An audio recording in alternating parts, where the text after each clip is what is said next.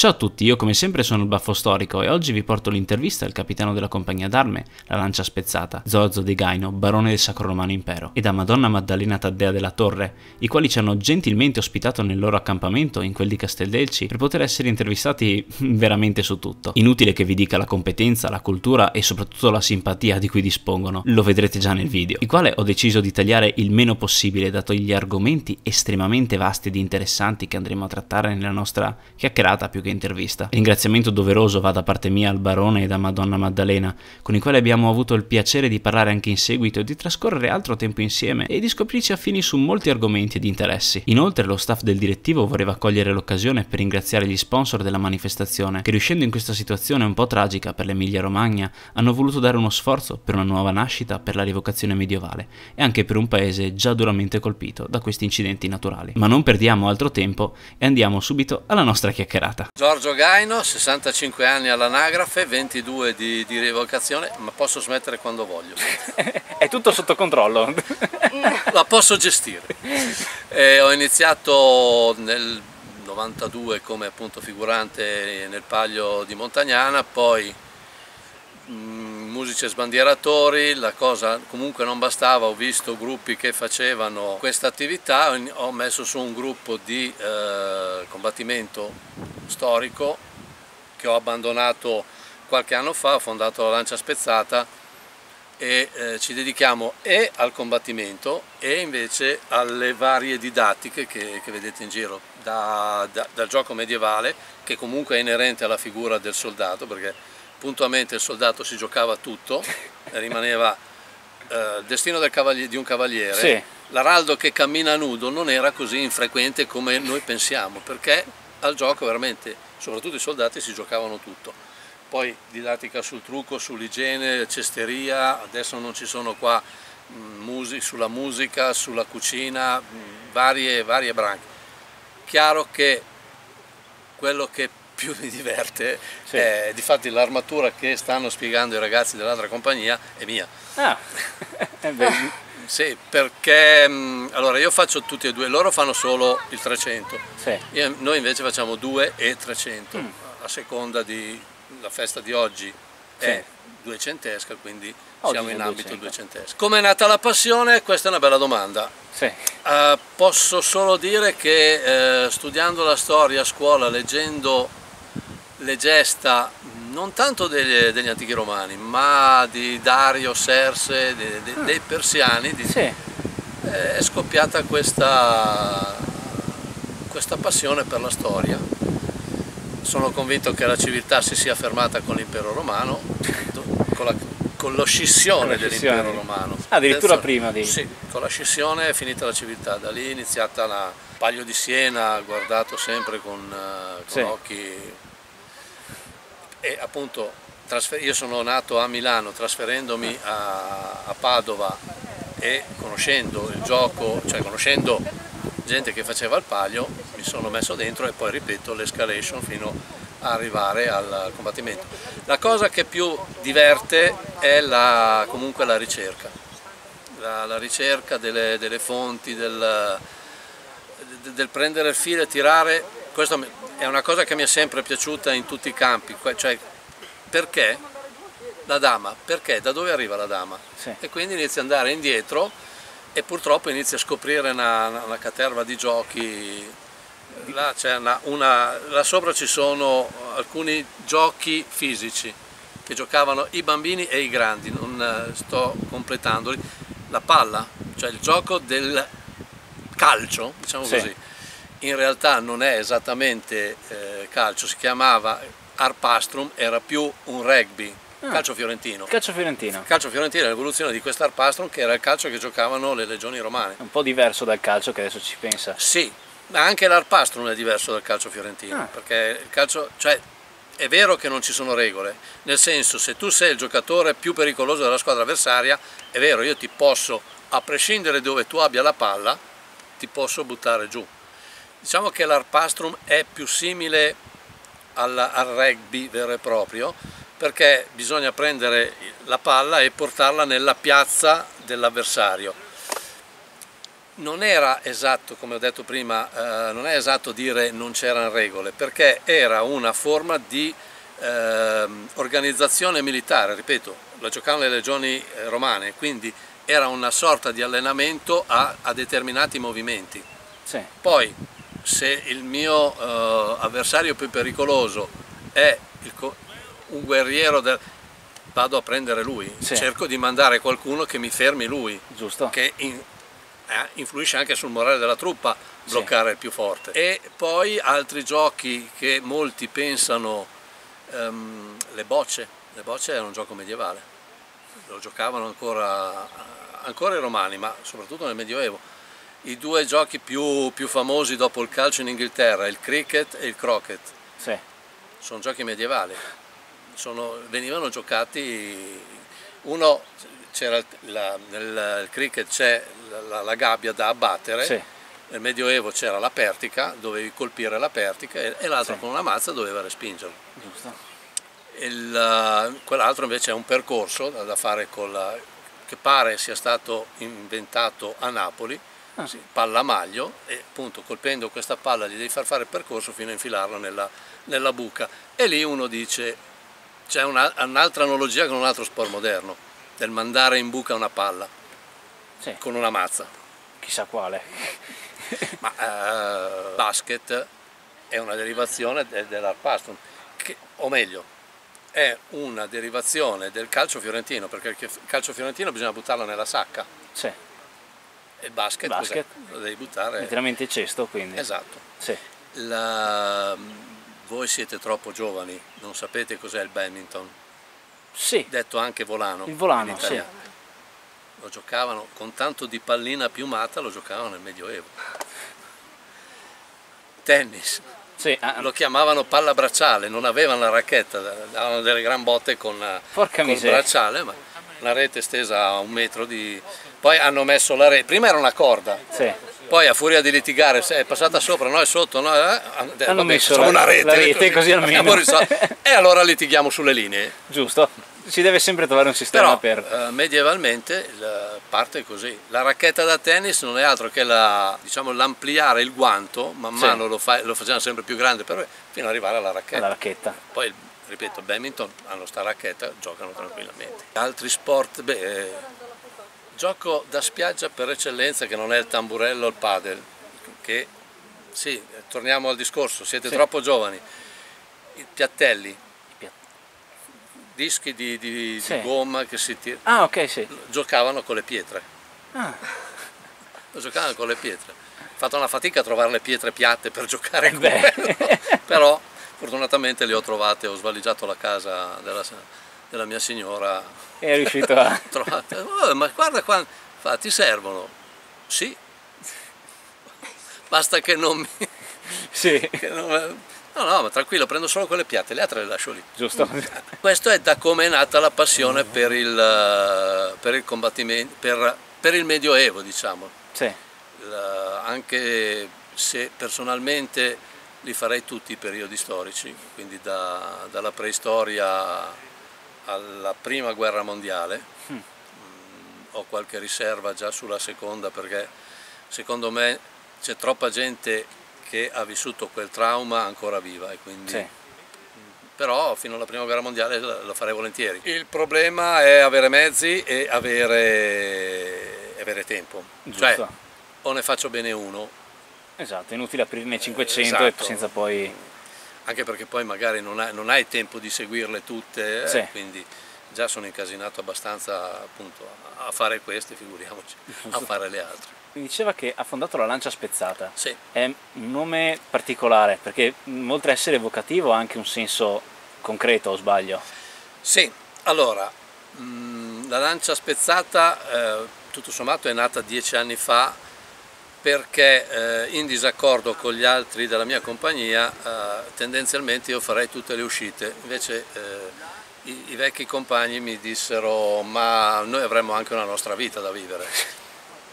E le quindi scelte. quelle, esatto, le uscite che non facevo con loro chiamavo altre compagnie. Ora, lancia spezzata era un termine con cui venivano, ah, premetto, io eh, ho letto queste cose.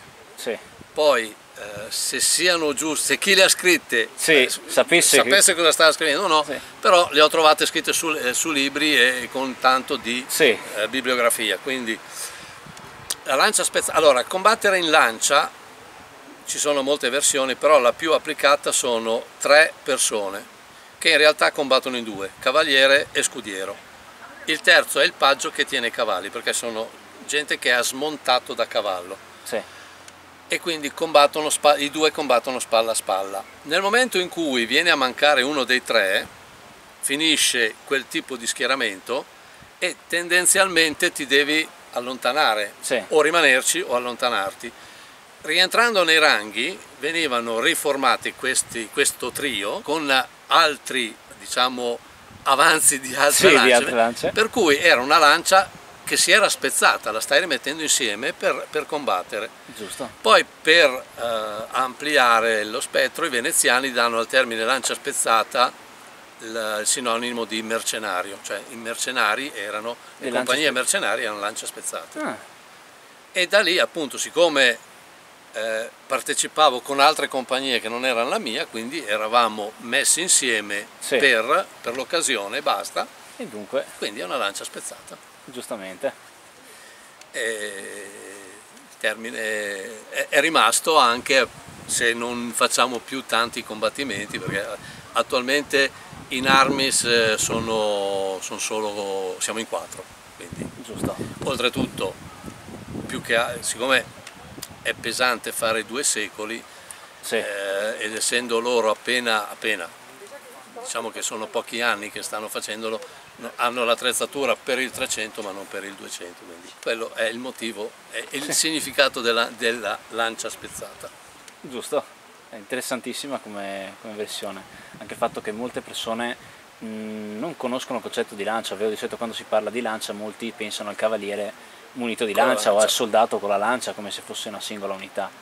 Invece Esatto. è- No, il termine lancia, eh, ma an- anche alcune terminologie moderne, lo spezzare una lancia, perché eh, torna- parlando del discorso del cavaliere che parte lancia in resta, sì, che, e la resta è un gancio che attaccato alla corazza dove appoggiavano la lancia, perché sennò tenerla sì, era era- ed essere precisi era piuttosto... Nel torneo il cavaliere che...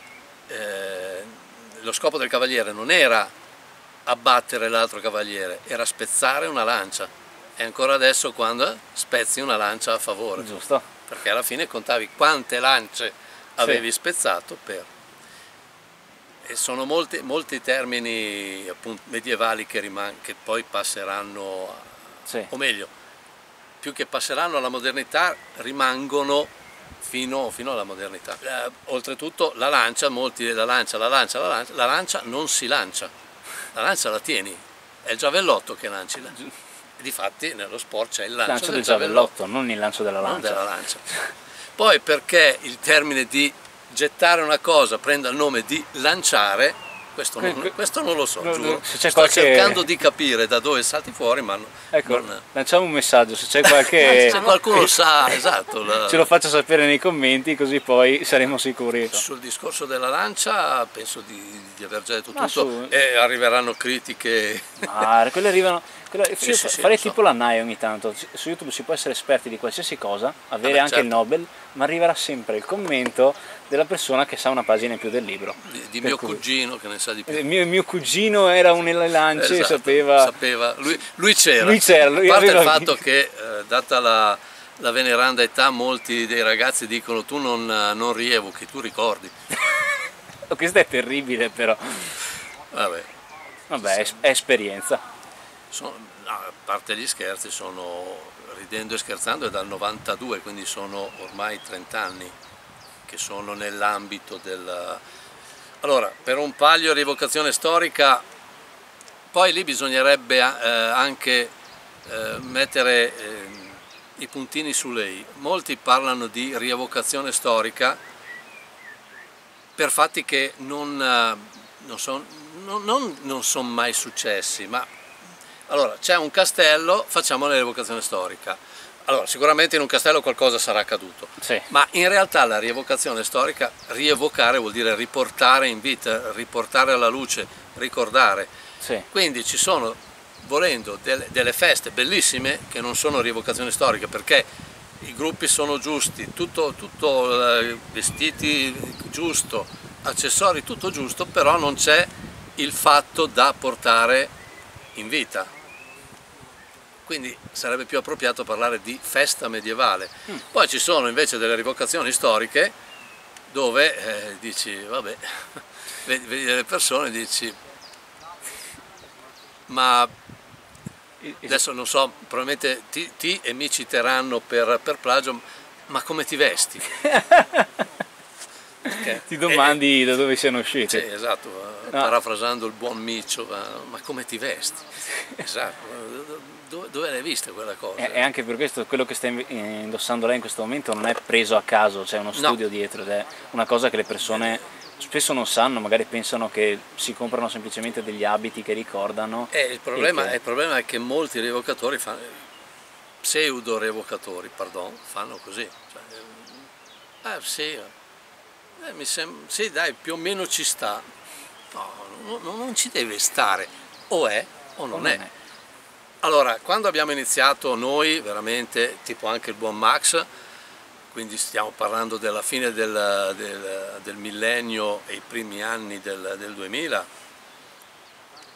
internet, scaricare una foto voleva dire passarci la notte, perché se lo facevi di giorno ti, Traffico No, no, ti giocavi il- lo stipendio, costava una lira di Dio.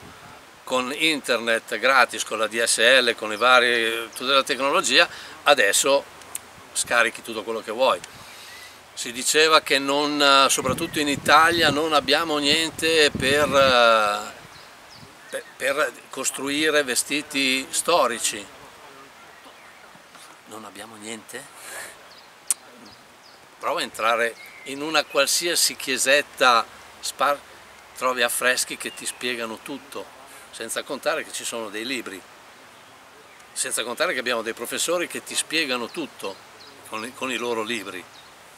Quindi, però nel, nel 2000 era veramente una cosa allucinante scaricarsi qualcosa, trovare dove andare, senza contare che appunto sì, sa- sai che c'hai un patrimonio eh, infinito in Italia, però nessuno veniva in mente di dire andiamo lì, andiamo, andiamo a vederli. Poi pian piano, man mano che te li trovi, che qualcuno ti, ti dice, o ripeto, leggendo i, libri del- dei, dei vari professori tipo Settia, Beltrame, eh, ti, ti- ti dici, ah cazzo, ma sta chiesa qua, Padova, Sì, il santo, beh, Dopo un po' dici, cazzo, ma io ce l'ho a, a- a neanche 20 minuti di macchina. Vai lì e la fotografi. E vedi de- delle cose. eh, ecco, esperienza del palio, an- anche per dire rievocazione fatta bene e fatta male. Il palio è una rievocazione perché ha uno statuto originale del 13- 1356, depositato in cassa di risparmio ancora organizzatori via, giustamente, via tutti gli orecchini, via tutte le collane, via tutte, perché ai tempi non c'erano. Allora, via gli orecchini col medaglione perché Sì. non è medievale, ok, via la catenina col... sì, col nome sopra magari. ma non c'erano gioielli, non c'è. L'ultima appunto, non c'erano gli orecchini, a Padova c'è, c'è una signora con gli orecchini, sono negli affreschi del santo, c'è una signora con il Con l'orecchino. Beato Belludo, mi pare che si chiami, la cappella del Beato, c'è una signora con gli orecchini. Infatti adesso io non so dove è sparita la mia signora, Era comparsa prima Sì, ogni tanto per, per flash, un eh. secondo e poi... E questo, ripeto, è, è per me è il divertimento anche di fare, di fare questa cosa. E il riuscire ad essere il più vicino possibile a quello che vedi raffigurato, perché chiaramente siamo nel 2023 e eh, dobbiamo basarci e su descrizioni che molte volte eh, con lo stesso termine indicano un'infinità di cose o ci sono un'infinità di termini per indicarne una.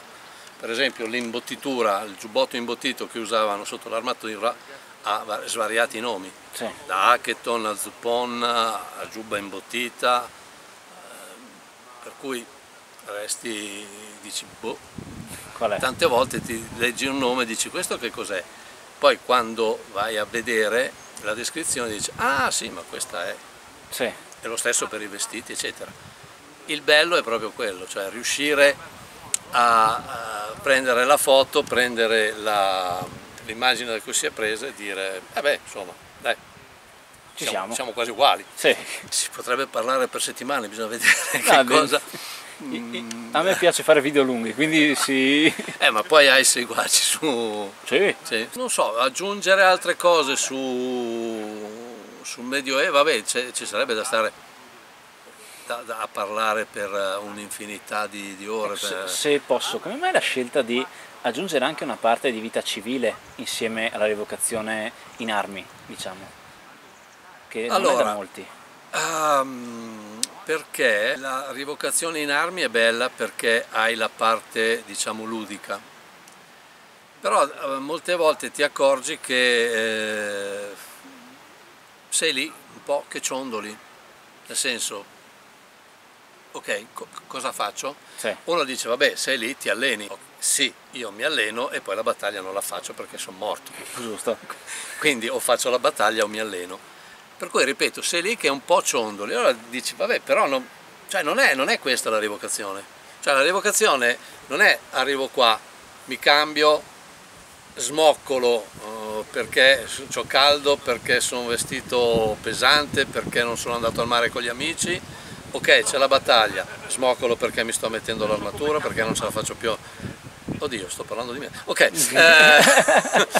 no, a parte, parte gli scherzi. Eh, stai praticamente mezza giornata ad aspettare la battaglia, è finita la battaglia, ti, ti, ti levi la roba sudata, sì ci sono i commenti,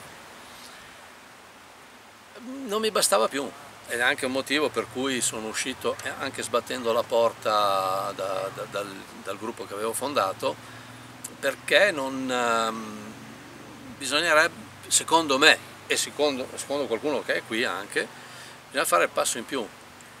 Eh, la pacca dalla spalla quando sei a... Allora, ci sono dei ruoli, dovresti avere dei ruoli. Sì.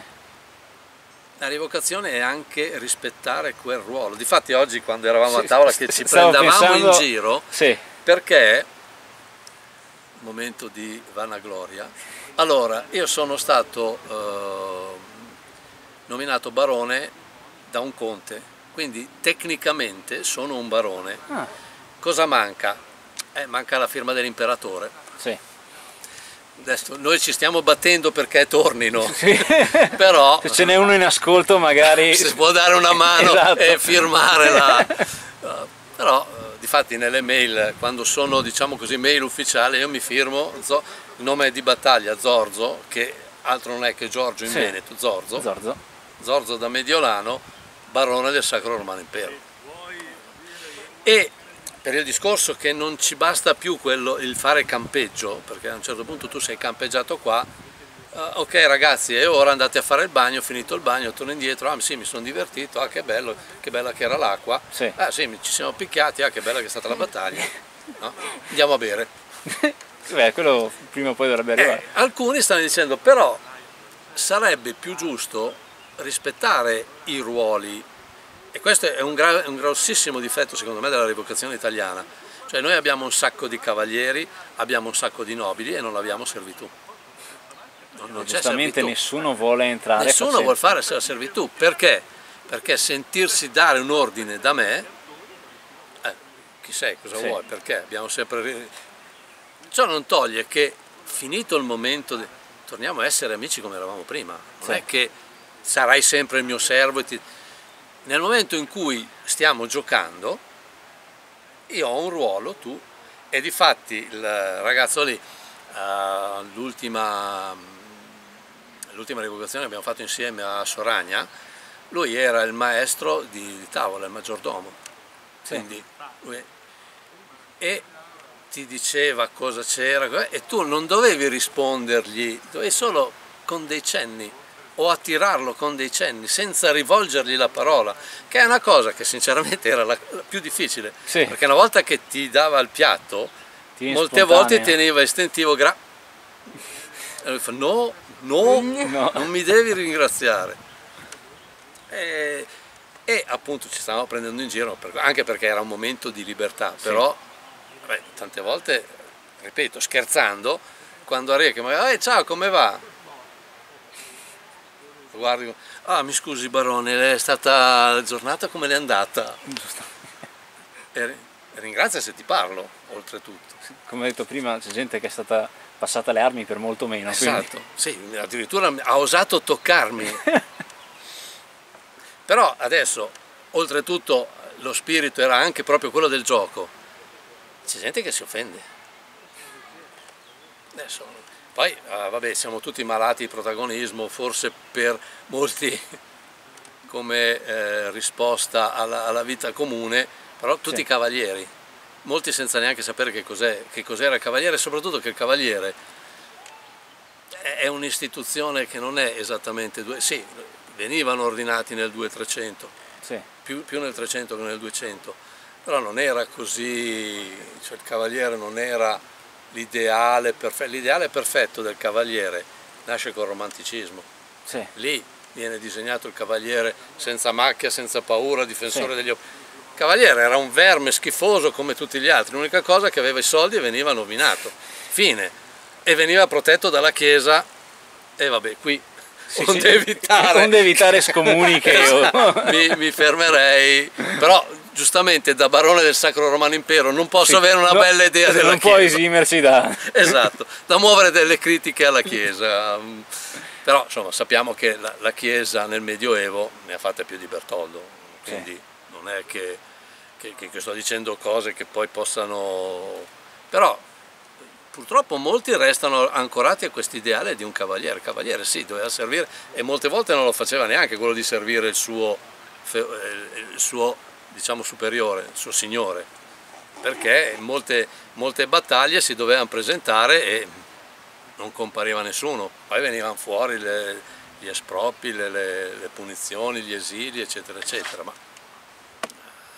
non era questo persone, personaggio puro. Eh, Eroico come invece. carità, c'erano, ma, ma c'erano, ma c'erano anche tra i soldati, come, sì. come c'è adesso, c'è chi si comporta in una determinata maniera e c'è a prescindere da avere o non avere soldi. Questo, ripeto, è secondo me la, un errore che noi facciamo nel, nella rivocazione, cioè avere eh, sì tutti un ruolo, però in base anche a, a persone. Voglio dire, dopo vent'anni che eh, combatti, infatti io sono stato Salute.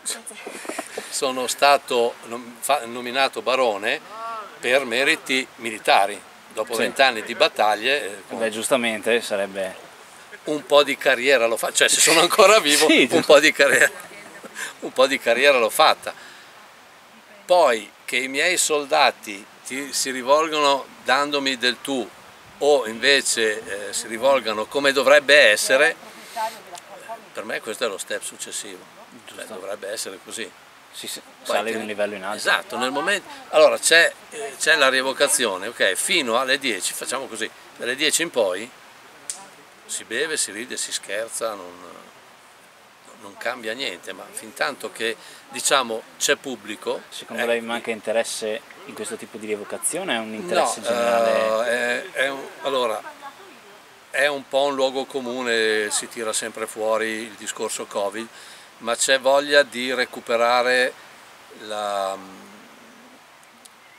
la, vita non vissuta in, quegli, in quei due anni che, che, sono finiti ieri, non è sì. che stiamo parlando di... Poi le, le, manifestazioni come questa, come tutte, le fai nel periodo estivo, se, sì. se non si si mette... Il maltempo. Eh, con, con quello che è successo. Poi la partecipazione a un evento di questo tipo è sempre, sempre dura perché in Italia la rievocazione, cioè non vestirsi come siete vestiti voi, sì. è un carnevale. sono, sì, sono... Ah, ma per certi aspetti anche come ci vestiamo noi è un carnevale, dipende da, da, chi, da chi, guarda. sì, d'accordo, però eh, resta sempre il fatto che voi siete sicuramente più normali di noi. Infatti una domanda che purtroppo fa, ma non avete caldo con quei vestiti? E ti verrebbe di rispondere sì cazzo, ho caldo, lo so, ma se voglio fare una cosa mi metto così. Che poi, a dirsela tutta, eh, il momento più traumatico è quando ti indossi, perché poi ti acclimati, la, la lana è isolante dal caldo e dal freddo. Una volta che ti sei acclimatato non, non lo senti più il caldo. Vero è che quando te, lo, te, te la levi dici ah, ma c'è tutta un'altra temperatura. Vabbè, eh, però appunto la, la, gente è tendenzialmente convinta che il nostro sia un, un carnevale fuori stagione. Per molti noi siamo poco più che pagliacci. Ti vengono a dire, vabbè, ma siamo nel 2023, cosa serve? Proprio perché siamo nel 2023 serve. Allora, diciamo che eh, continuare a dimenticare quello che è passato ci porta a rifare gli stessi errori e nell'est Europa lo stiamo vedendo. Sì. È una cosa che io non, non, mi sarei mai, veramente io non mi sarei mai aspettato di vedere cadere il muro di Berlino, di, vedere, di rivedere la spagnola, che sì. io ho sentito sempre nominare da mio padre alla, quella, quell'influenza, che è stata un'epidemia tale quale al Covid, e nello stesso periodo tra le altre cose. Ci sarà una, una coincidenze? Io non credo. vabbè, anche qua altra querela, e ormai ne stiamo accumulando, chiesa, programmi televisivi. La perdita della memoria, ecco, una cosa che anche penso a volte giochi a nostro sfavore, è l'essere accomunati a una determinata fazione politica, cosa che non esiste, qui trovi di tutti, i, eh, di tutti gli schieramenti, di tutti i partiti e andiamo d'accordo. Poi quando ci leviamo la cosa, un po' scherzando, un po' no, ce le tiriamo dietro. Sì. Però eh, il gioco è comune, non, non, non è l'ideologia, non, non, siamo legati a nessuna ideologia e nessuna confessione religiosa. Poi eh, in Italia la cultura cioè, è più facile andare a farsi fotografare davanti alla, alla Venere agli Uffizi, sì. perché l'ha fatta la Ferragni, che non andare a vedere il dipinto e, studiare, e, e guardarlo. Cioè ti fai il selfie perché l'ha fatto lei, allora lo faccio anch'io. Sì. Non vai lì a vedere tutti i particolari de, de, de, negli angoli nascosti. Addirittura uh, stavamo guardando un... non eravamo agli Uffizi tra le altre cose, era un altro museo che adesso non mi ricordo più qual era, iniziano ad essere tanti, e c'era una Maddalena mh, mm, piuttosto eh, non in, stracciata, però era abiti scuri, cupa, molto, molto grigia anche. Sì.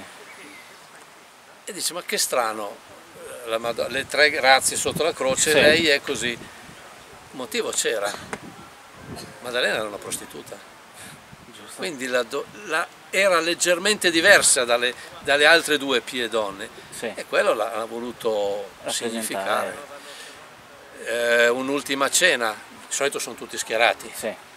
A Mantova, l'ultima cena, ci sono 11, veramente, 10 apostoli e Gesù, eh, sì, e Gesù di là sì. e un apostolo di qua. Giuda è di qua e dà di spalle, oltretutto. Giusto ci sono, ci sono dei significati nei quadri, bisognerebbe non andare a fotografarsi appunto davanti a, a, un, a un, ritratto perché c'è stata la ferre eh, del ritratto. Vabbè, quadro. La, la, Vergine che esce dalle acque, vabbè, eh, magari primavera, una visione bucolica. Vabbè, perché l'ha fatta la, la, la Ferragni e non andare a capire cosa stai guardando. Questo ormai è una purtroppo la, la, cultura in Italia è letta così. Poi adesso va di moda fare la fila davanti a lui perché cioè, vai a vedere, no, non vai a capire cosa c'è, vai, vai, a vedere perché gli uffizi ormai sono diventati un, un museo di moda. Nessuno va a vedere o fa la coda. Beh, davanti a San Marco e a Firenze ci sono, anche, tutto sommato. però altri musei che meritano Vengono... sono un po' meno pubblicizzati. Poi e qui gli do un po' ragione ai vari professori che ci vedono anche loro un po' di malocchio perché abbiamo la velleità di, eh, di sapere tutto del Medioevo, quando in realtà gli studiosi sono loro. Cioè, noi, io resto dell'idea e, e, ci tengo anche a, a dirlo, non l'ho detto all'inizio ma sottolineo adesso, io eh, riporto quello che ho capito dai libri che hanno scritto gli altri. Sì. Quindi non, non sono io che sto insegnando, io riporto, non dico di essere un Piero Angela, perché sì. anzi, però insomma, poi posso anche sbagliare, eh? posso aver anche interpretato male quello che ho letto. Errare umano est, dopo tutto. Sono, io sono un umile rievocatore, un umile servo della, della, storia. Non sono un laureato, un professore che passa la sua vita a studiare determinate cose. Nelle, magari leggo, confronto due o tre testi, però sono, sono limitato. Sono, cioè, rispetto a loro sono limitato. Non ho accesso a testi che, che possano innalzare ancora di più, anche perché a quel punto fai l'università e diventi professore. Però, ripeto, la voglia di eh, cimentarsi in tutto quello che è... No, non, non, è esatto dire in tutto quello, perché appunto ognuno ha la sua branca, la sua branca. cioè io ho i giochi perché è comunque interconnesso con, con la scommessa, perché tutti i giochi nel Medioevo erano giochi d'azzardo, cioè ci si puntava su, ripeto, tutta l'armatura, tutto il soldo. Questo stona un po' con l'immagine del Medioevo della gente spaventata, timorata di Dio che non, non fa altro che pregare. Allora, il gioco, allora qui vedi delle scacchiere riportate su legno, giocavano dappertutto no? e la Chiesa in un primo tempo vieta questo sperpero di denaro, quindi vieta il gioco, non ci riesce a quel punto dice vabbè almeno nelle feste comandate non giocate. Almeno lì. E anche lì non gli riesce. Siccome una, una vizio era quello di fare le, le, scacchiere anche sui gradini dei sagrati della chiesa perché ovunque facevi quattro segni ripeto sulla panca è un esempio ma ci sono anche dei, dei gradini delle piazze dove c'erano segnati il tris per esempio a quel punto dice va bene, allora non giocate sul sagrato della Chiesa. E anche lì cioè, il gioco va avanti, le scommesse vanno avanti. Non, non riesce a porre freno la, la Chiesa a, a questo. A, a, e appunto c'era gente che andava in rovina col gioco, perché era giocato da, da tutti veramente, da, chi appunto la faceva la scacchiera sul sagrato, chi invece giocava nella, nella sua casa. Il gioco è, è, dappertutto ed è inerente appunto alla vita del, del militare. Poi c'è il trucco, anche lì nel Medioevo non si truccavano, non è vero, non si truccavano come noi, ma il, il loro trucco della signora che sta di là dalla macchina è direttamente eh, derivato da questo trucco che è della scuola farmace farmaceutica, della scuola medica sorrentina del, del 1200.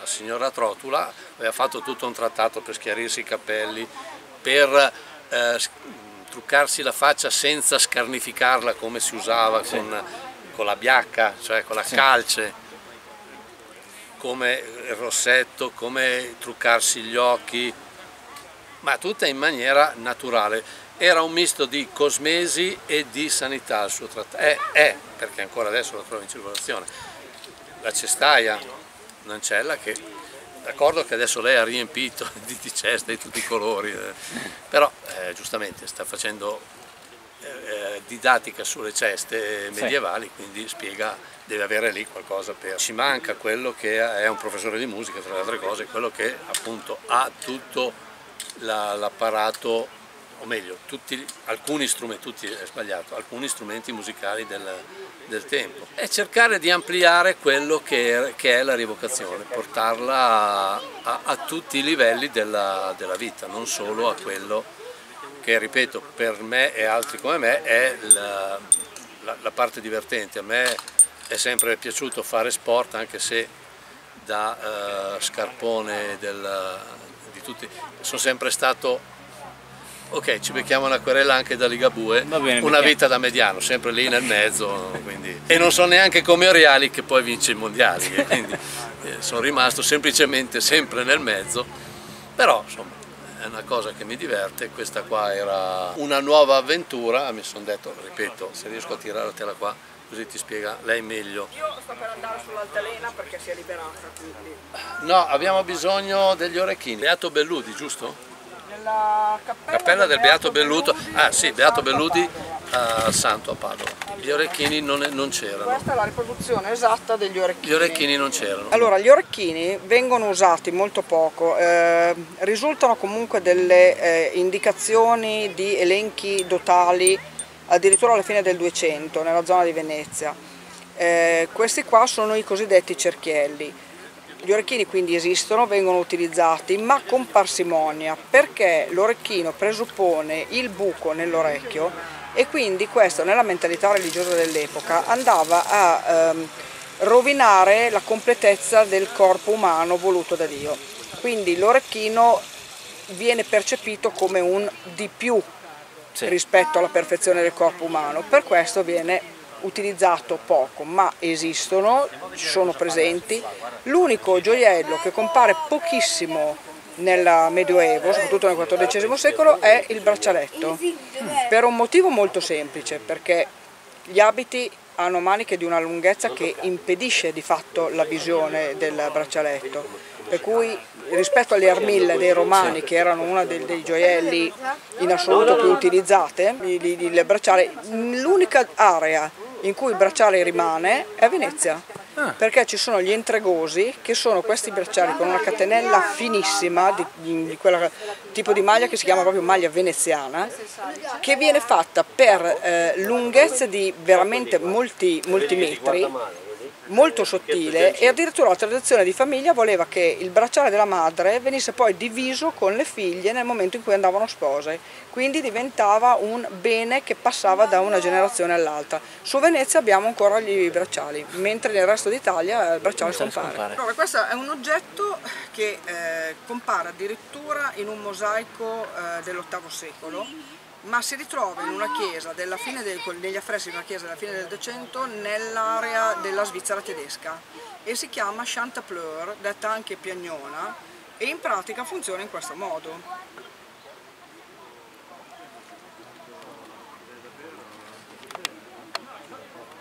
Una volta tenuto fermo, quando io l'apro in alto,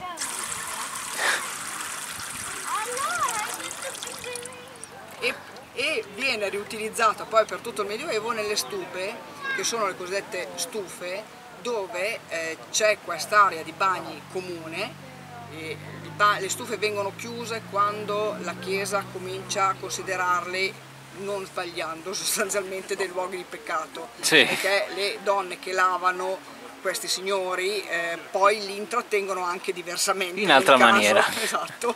Ma eh, il discorso dell'igiene non è cambiato è molto.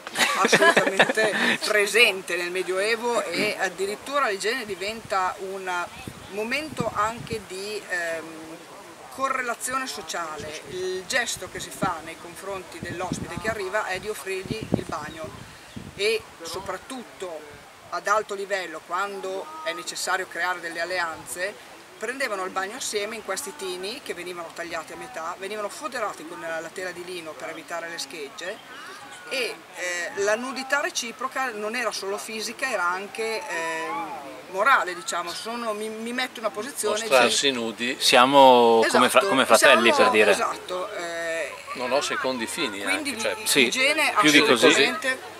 Igiene assolutamente, igiene in qualsiasi classe sociale, si lavavano tranquillamente anche i poveri. Nella serie cambiava, nel Medioevo non si lavavano. Sì, cambiava anche questo. semplicemente il tipo di materiale, materiale nel senso che eh, a seconda della disponibilità economica uno poteva eh, acquistare beni anche per l'igiene personale di lusso o meno.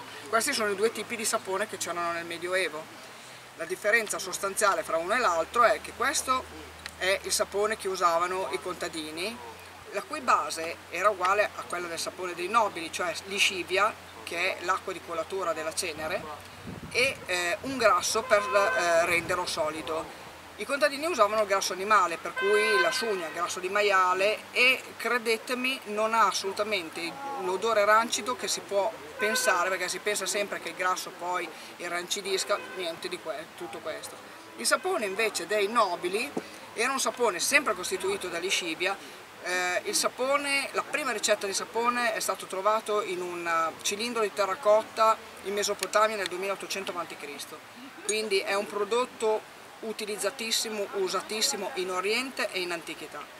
I romani si lavano in maniera diversa, si lavano con lo strigile, quindi olio, e questa, mh, ci sono delle, degli strigili perfettamente conservati a Mantova al museo archeologico. Sì, lo Servivano proprio per pulire lo stato superficiale della pelle. Cos'è uno strigile? Ecco, lo strigile era una specie di, um, non, non, aveva una lama tagliente, ma era un, un oggetto ricurvo, una lastra ricurva che aveva il compito di portare con sé lo sporco una volta che veniva passato. Il sapone che usavano i signori invece era il sapone eh, che arrivava generalmente dall'Oriente perché era il sapone d'Aleppo. Se voi ancora adesso andate nelle erboristerie lo trovate ed è sapone eh, fatto con la liscivia e con l'olio essenziale di alloro che era antisettico, eh, era astringente, eh, quindi il sapone diventa un momento di igiene ma anche di cura per il corpo.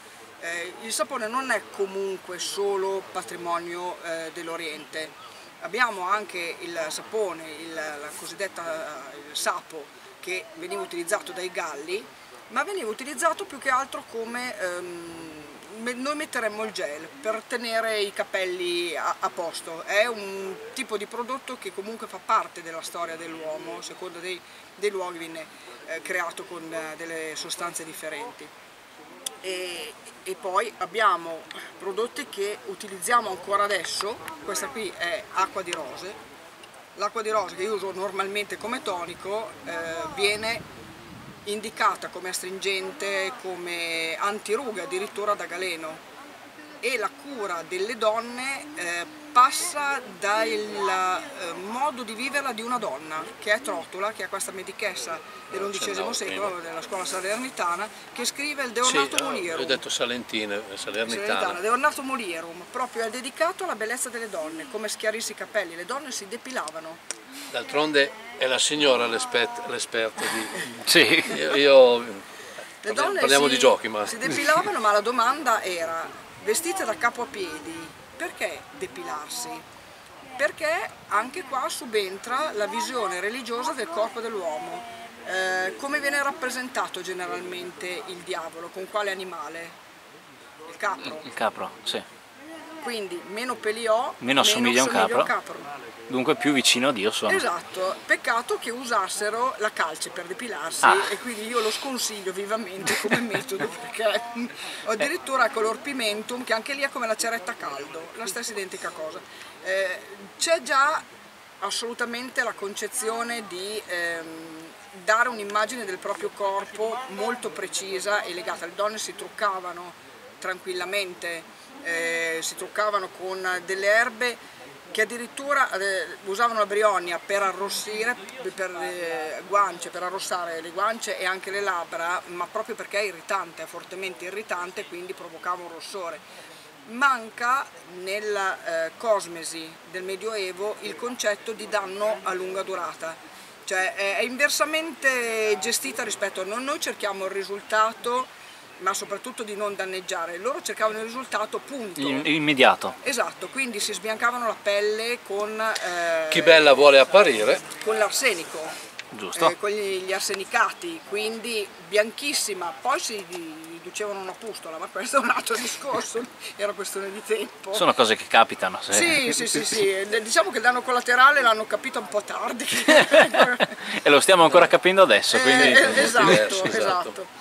Però ecco c'era di tutto, si profumavano, si profumavano in una maniera differente dalla nostra perché eh, erano oleoliti, era profumo in olio ed era monoessenza per noi il profumo ha la testa, al cuore, alla coda, cioè ci sono più aromi che si sviluppano nel, con la permanenza del, del, profumo sul corpo. Per loro no, si metteva a bagno nell'olio questa, questa, erba, quindi o la lavanda o il rosmarino o la menta, qualsiasi profumo che fosse preciso. Profumavano i capelli, questa qui è una, la, la, polvere che ho fatto io è noce moscata, eh, petali di rosa pressata, eh, c'è anche la cannella eh, e veniva messa in testa. Questo soprattutto nel 300 però, perché il 200 prevedeva eh, il capo delle donne praticamente sempre coperto. La moda cambia radicalmente dopo la eh, metà del 300 e ha archi temporali molto più lunghi dei nostri. Noi abbiamo la collezione primavera-estate, autunno-inverno, loro 50 anni, da un cambiamento all'altro. Gli uomini erano felicissimi di questa cosa. Però, Immagino.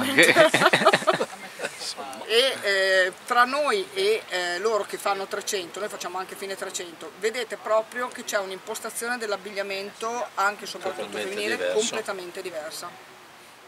Per cui eh, queste mh, diciamo, ampiezze e anche questo è legato allo eh, status sociale. Più stoffa io impiego, maggiore è la mia disponibilità economica per cui più ampia è la, eh, la, più lunga cintura, la catena, la cintura, cioè la cintura lunga. Eh, Cosa serve tutta sta roba qua? Tutto quello che è superfluo è indicatore di benessere, benessere. economico. Non, sono, non, devo usare i soldi per mangiare, posso spenderli come, come voglio. E, e, anche questo ti, ti racconta chi, chi sei e, e racconta agli altri chi sei e chi ti vede. Nel 300 la stessa cosa ma cambia proprio la forma del, dell'abbigliamento perché diventa tutto molto più aderente, c'è una percezione del corpo ehm, e anche un'esibizione del corpo più disinvolta rispetto al 200. L'unica cosa eh, che rimane fondamentale è la presenza del velo del capo coperto. Tutte le donne sposate dovevano avere il velo, ma questo già a partire dalla fine del 200 perché eh, Latino Male Branca, eh, che è legato pontificio, nel 1278 eh, promulga questa, questa, regola secondo cui le donne sposate dovessero avere il capo eh, coperto. A capo scoperto potevano andare solo due categorie di donne, o le ragazze molto giovani, quindi ancora da maritare, e loro potevano mettere fiori freschi in testa, o le prostitute. Anzi, obbligatoriamente le prostitute dovevano avere il capo scoperto, come le prostitute dovevano vestire di giallo, perché anche il colore nella mentalità medievale comunica, quindi eh, chi si vestiva di giallo e di verde, i giullari, perché erano i colori che nella loro mentalità erano legati alla pazzia.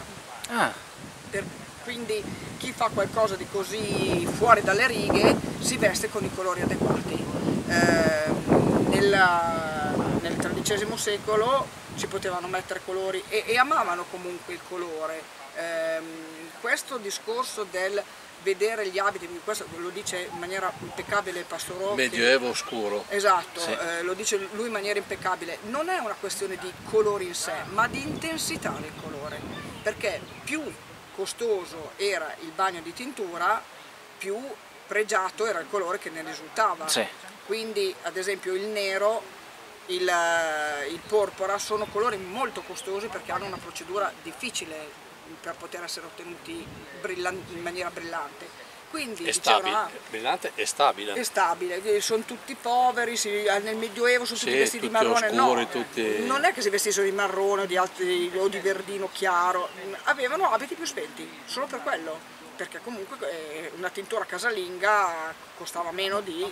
Eh, I tintori oltretutto sono una categoria rispettatissima, hanno dei quartieri dedicati anche perché sono molto inquinanti. inquinanti.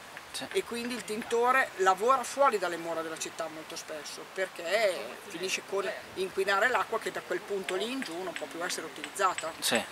Quindi è un lavoro, eh, come posso dire, ricercato ma disprezzato. Sì. È un po' un lavoro borderline. È un po' come un operaio dell'industria chimica, è utile eh, ma sì, se sì, puoi evitare utili, di vederlo... Però fanno un lavoro che viene percepito come, come sporco, insomma. Sì. Quello sì, assolutamente. Forse una banalità conclusiva, ma anche come se chi guarda questo video volesse contattarvi per avervi una revocazione o per unirvi ai, ai vostri ranghi, come, come, dovrebbe fare?